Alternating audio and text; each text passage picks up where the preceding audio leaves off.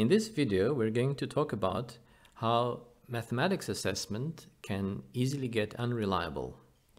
The main thesis of this short talk is that if a student has already seen through maybe previous year's assessments or through tutorial questions during the course, uh, the style of questions that are introduced in the assessment, then um, an assessment like that may very easily uh, become unreliable. And here I will explain this thesis on a particular example. So imagine we are designing assessment on the concept of an even number. And we have uh, the first question that's displayed here, question one, is 108 an even number? Now, if a student hasn't seen this question before, if this is the first time that the student is being asked this question, then I claim that this is a quite a reliable question. Um, but if a student already has seen such question before, then the student, and if a student knows that such type of question might might occur in, in the assessment, then I claim that this, this question will be very unreliable. Um, at least the answer of the of the student to this question will be unreliable in terms of determining whether the student understands uh, what an even number is or not. And here is why. Um, so, while preparing for this assessment and knowing that one can get a question like this, well, first of all, the, the student can easily memorize that uh, if there is a question asking whether 108, that specific number is an even number or not, then the answer should be yes. But of course, the assessment might not have that exact question. There might be uh, a, a, slightly different question where the number is changed to a different one.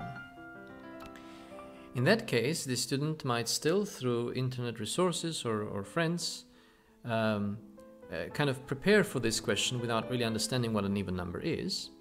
And let me remind you that an even number is a number that's divisible by 2. And uh, one possible algorithm for um, uh, answering this question correctly without knowing what an even number is is to to know that uh, when a number um, ends with uh, the last digit being either 0, 2, 4, 8 uh, then the number should be an even number. So knowing this rule, uh, without understanding the concept of, uh, of, it, of, an even number, uh, the student will then be able to uh, answer the specific question and all other questions of this kind where this number 108 is replaced with any other number. So a more reliable assessment would be where if I used uh, this question um, in one assessment, then I will not use a similar question in any of the other assessments so that the student cannot just prepare for this specific question. And then instead I might use uh, for the next assessment, uh, maybe next year or uh, simply uh, next assessment in the same course, I might use question 2 instead. Uh, is it true that a whole number times 2 will always be an even number? Now, knowing the method for the first question, uh, which talks about the last digit, it is possible to still answer this question correctly by examining all possible cases of what the last digit can be, then multiplying uh, that by 2, um, if the student understands that the, the last digit, uh, the effect on, on, the last digit of multiplying the whole number by 2 will just be multiplying the last digit by 2. And then examining in, in each case, if we have 0, 2, 4, or 8, when we multiply by 2, and I forgot about 6 before, apologies. When we multiply that thing by 2, then we are still going to get a digit that, uh, that is either 0, 2, 4, 6, or 8. So in principle, it's possible to answer this question, but it gets more, more complicated, more difficult to answer this question if um, the, the, only thing student knows is, uh, only has is pre preparation for the first question. Uh, of course, if a student understands what it means to, to have a whole number, uh, sorry, to have an even number, in other words, a number that's divisible by 2, then clearly a whole number times 2 will be divisible by 2, so the question can be very easily answered. But now, if the student has, so, so the, the, the second question is a, is a bit more reliable uh, than the first question after the student already has seen the first question in previous assessment, or, or it, uh, as one of the exercises in the course. But now the second question uh, will become easily unreliable if the student already has seen such a question before, because for this question the student could prepare as follows. Um, one could just memorize that uh, when the when a question is of this kind, um, where instead of 2, we could also have any other number that uh, ends with last digit being either 0, 2, 4, 6 or 8, then the answer um, uh, is always uh, yes to the question. So once again, it's, it's possible to prepare for correctly answering this question without really understanding what an even number is. And so we would we would want to change this question to another one in the, in the next assessment. So let's say we pick question three now. Um, is it true that the sum of any finite amount of even numbers is always even? And once again, by uh, much longer than for the for the second question, much longer investigation of cases, one can in principle determine uh, uh, that the answer to this question is yes. Um, but um, uh, that does require a bit more uh, uh, mathematical intelligence, and so at that point you assume that okay, if a student can do that, then most probably the student would have understood the notion of an even number when it was um, uh, given to the student. Uh, on the other hand, if the student has seen this question before, once again, it becomes uh, completely unreliable because for this question one can prepare uh, just by remembering that the sum of uh, any finite amount of even numbers is always even. Um, and, and, so one just remembers that the answer is yes. So, um, as we see on this very simple uh, example, uh, it is possible to uh, have an ad hoc type of preparation for specific types of questions. Um, and so, if uh, a student has already seen that type of question before, then when the student is preparing for the assessment, in, instead of the preparation um, involving the student actually engaging with the content and understanding the mathematics that was being taught, the student simply remembers some ad hoc methods for addressing specific types of questions which the student expects at the assessment and as long as there is sufficiently many questions on the assessment that, that match with those that the student was expected and prepared for with ad hoc algorithms, the student will be able to pass the assessment. And of course, this pass mark will be quite unreliable because our goal with the assessment was to, in this case, for instance, to, to check whether the student understands what an even number is or not. But because we gave questions that the student has seen before and has prepared for these specific types of questions, uh, the student has methodology of figuring out answers to these specific types of questions without really understanding the concept of an even number. And uh, that uh, shows that, um, uh, well, at least in mathematics, but probably same phenomenon is true for other subjects as well, uh, that in mathematics um, uh, that with assessments, it's very important to um, uh, for the assess assessments to be um, forever evolving.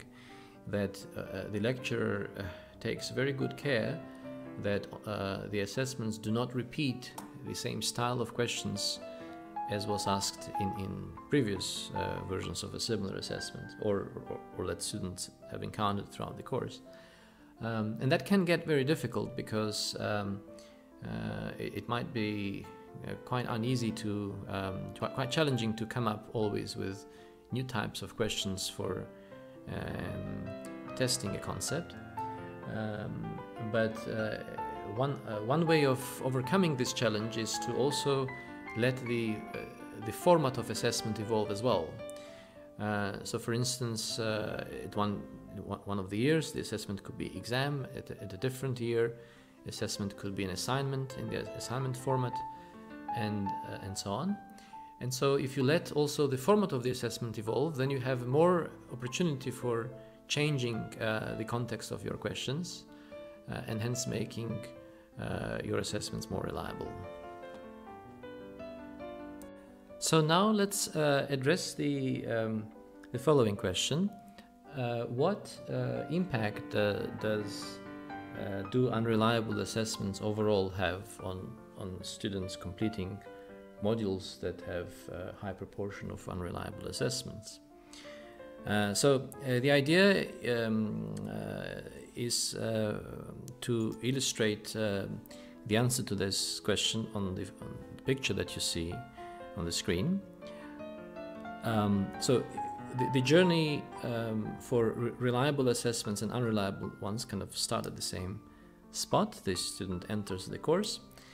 And then um, uh, the, the top uh, path is the path of reliable assessments, and the bottom one is the path of unreliable ones, and I'm going to explain that in a moment. So the reliable assessments force students to climb up the hills of abstraction and then descend down to uh, concrete um, scenarios, uh, and that, that does involve going through certain methods, but these methods are uh, methods that students uh, almost by themselves need to develop um, uh, in, in, an attempt to apply the abstract to the concrete or in an attempt to abstract away from the concrete.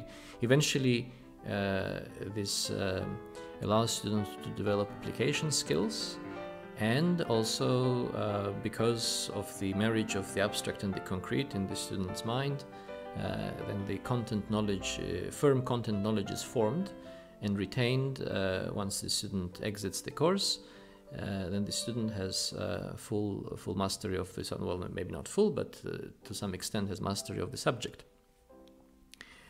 Um, and, and, that's because each of the assessments uh, uh, forced the student to uh, to understand what was being taught rather than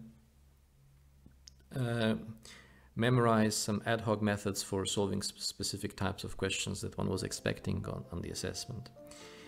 Now, the unreliable uh, assessments take uh, students on a completely different journey um, yes, the student will get some memorization skills as one exits the course because those methods had to be remembered in order to be to be used in the in the assessment.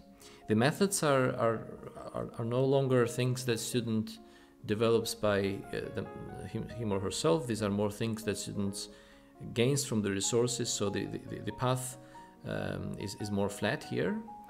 And because of that flat path, um, the interplay between abstract and concrete doesn't really happen. And then uh, those methods, which are actually ad hoc methods uh, that the student learned just for specific types of questions, eventually gets forgotten after exit exiting the course.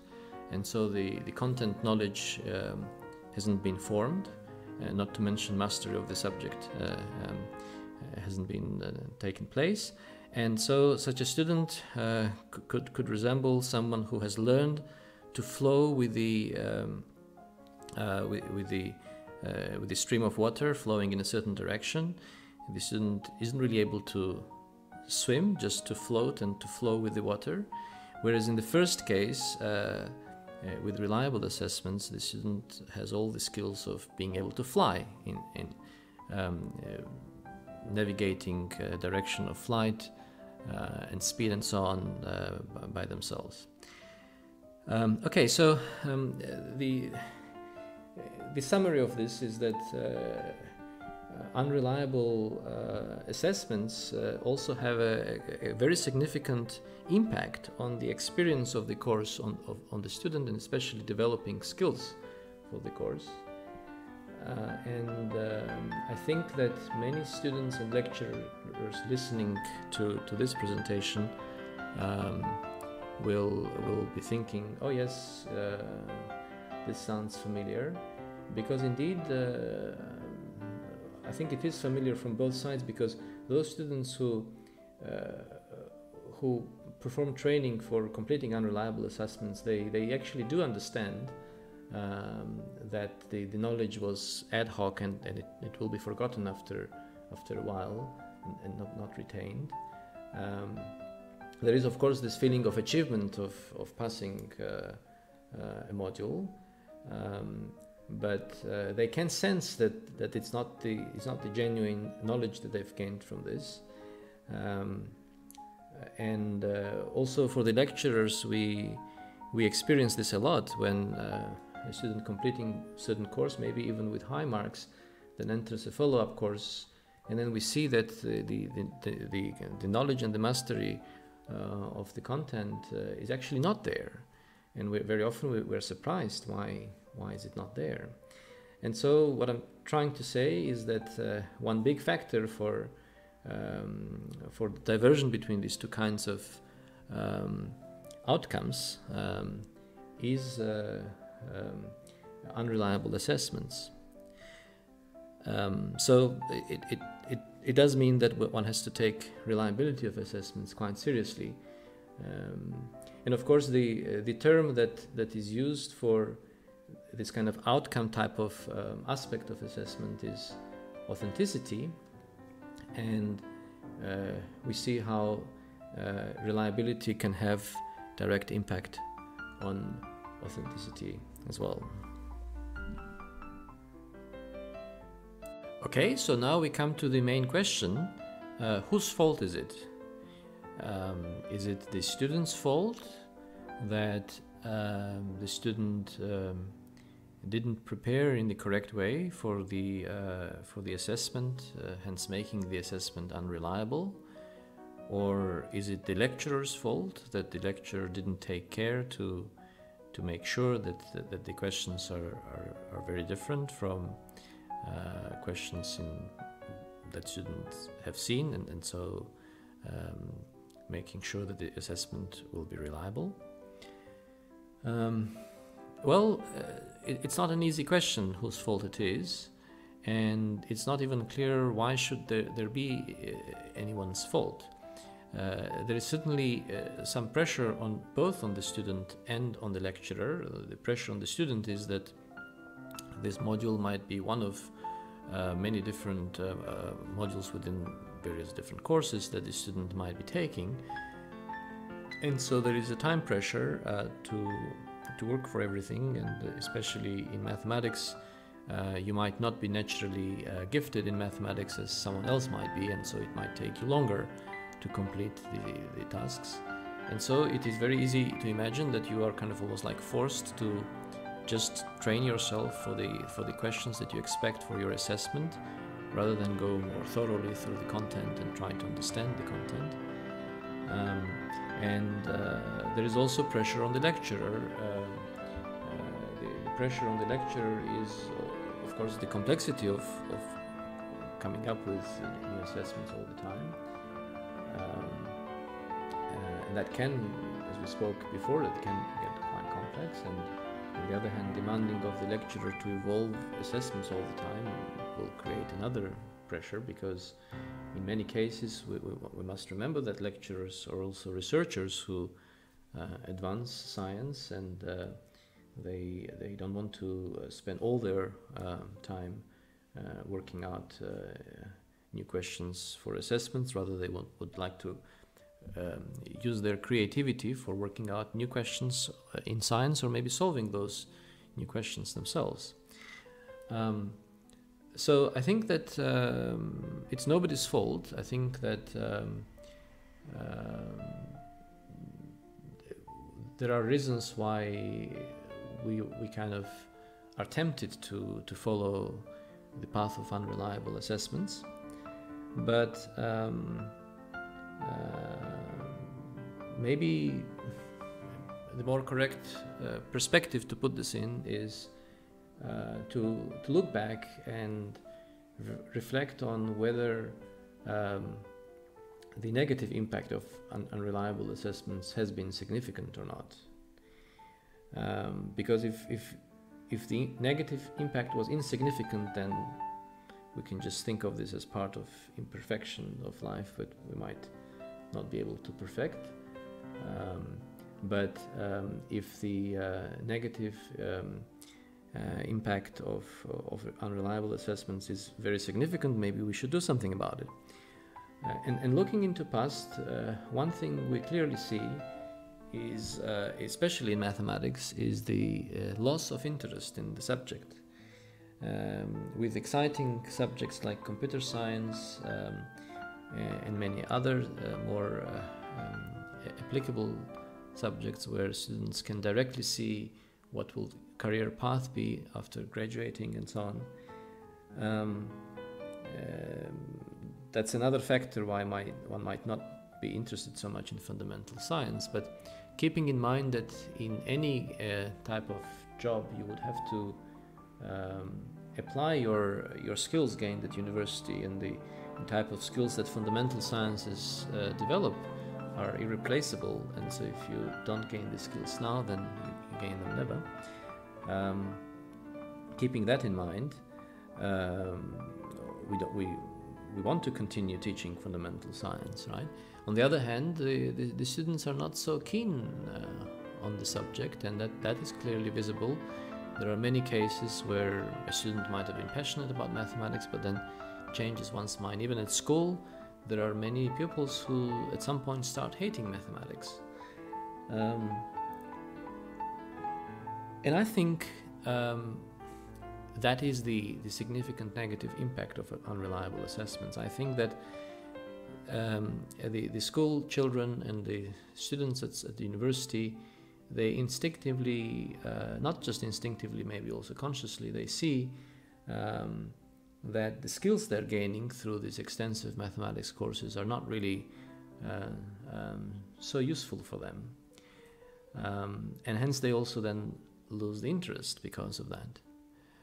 Um, and uh, decline in interest in, in something uh, that forms an important part of our uh, civilization, especially moving forward in the future, we, we, we do want uh, to be to be more uh, uh, scientifically literate, to be more mathematically literate, because um, of all the technology that we are creating, which eventually is supposed to help us explore the universe outside our own planet and so on. Uh, there is no way out uh, avoiding fundamental science on which all of these uh, technological advances rely, right?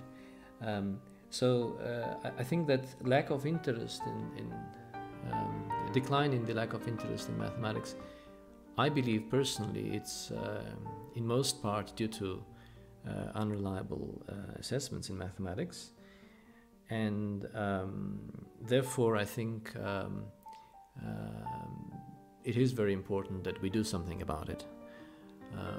I don't know exactly what we should do about it yet.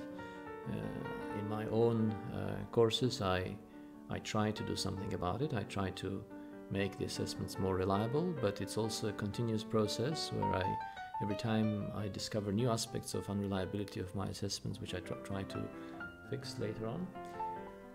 Um, I think um, it's been um, many decades now that assessments have been uh, less reliable than one would would, wish for um, in mathematics uh, around the world, and uh, that has had its impact, um, its negative impact.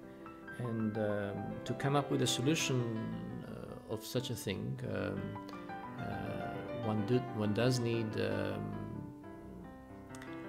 to experiment and, and to, to, try things out and to see how they work. And uh, one does need to take care in um, uh, in, in thinking about this problem and, and trying to uh, solve it, and with effort from different lecturers and students, with the joint effort, we can eventually come to maybe some good solutions to the problem. Uh, I think it is the kind of problem where uh, one first needs to put in a lot of work uh, before maybe someone, um, a specific person, will come up and say, "Okay, I've got the bright idea here to to, to, to solve this problem and take us to a different dimension. Um, such bright ideas uh, are, um, uh, are a result of uh, many years of thinking and, and, hard work of not just one person but, but lots of people. So that is the, uh, the thing I want to uh, conclude this uh, video with to propose to uh, lecturers and to students to think about this problem of unreliability of assessments and make their uh, input and efforts in um, making the assessments more reliable. with the hope that we can um, change thing change change the direction, the course of of our um, education system uh, to a point where, um, because of uh, of reliability and the actual benefit of the, of the assessment, students and students feeling and experiencing that, and of course they will experience once there is benefit. Um, then uh, taking a subject like mathematics becomes one of the uh, one of the pleasure uh, uh, pleasurable things to do uh, during school years or undergraduate years. Not only for those who might be naturally gifted in that area, but for also for anyone else who would like to take the benefit that uh, studying these uh, subjects offers. And but of course, it doesn't apply only to mathematics. these principles apply to other subjects as well. I just do not have enough expertise to judge to what extent they are relevant in other subjects.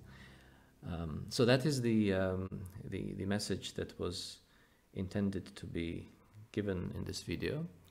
Um, a call for um, becoming more conscious of unreliability of assessments and the impact it has on the experience and the final outcome of, of learning and trying to and, and uh, trying to do something uh, about it to eventually uh, accumulate some some knowledge uh, that will enable us to um, to change the system in such a way that assessments become more reliable and hence uh, the interest in uh, fundamental sciences um, comes back to uh, to students.